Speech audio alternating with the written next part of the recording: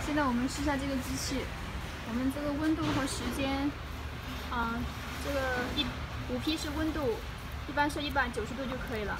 再按一下五到 F 是时间，一般是二十五秒就可以烫这个了。再按一下就完成设定。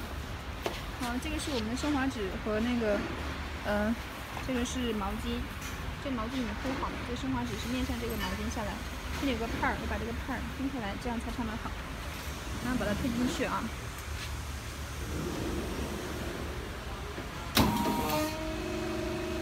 到位之后，发热板会自动往下压烫的，所以的话，嗯，时间就开始倒计时了。我们设的是二十五秒钟时间，完成之后它会自动那个发热板会抬起来，那么就可以完成了。